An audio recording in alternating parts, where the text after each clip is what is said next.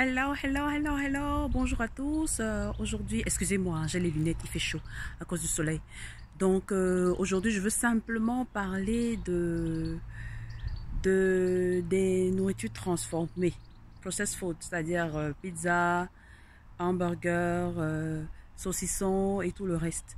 Oui, ce que je veux dire, c'est que les les aliments transformés en général ne sont pas très bons euh, quant au process à cause de tout ce qu'il y a comme, euh, comme euh, additif pour qu'ils puissent être conservés. Donc, imaginez un seul instant à quel moment les aliments sont fabriqués jusqu'au moment où ils sont disponibles dans nos, sur nos tables. Donc, imaginez à peu près qu'est-ce qu'il peut avoir comme additif pour que et les viandes et les tout puissent tenir. Donc euh, en pensant à cela, forcément, euh, ça nous amène à nous poser beaucoup de questions. Est-ce que nous devons les consommer ou pas? Ou alors, si on ne peut pas s'en passer, vraiment en très petite quantité.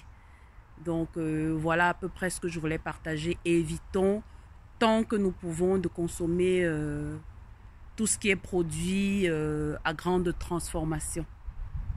Ok. Bisous, bonne journée, je vous aime.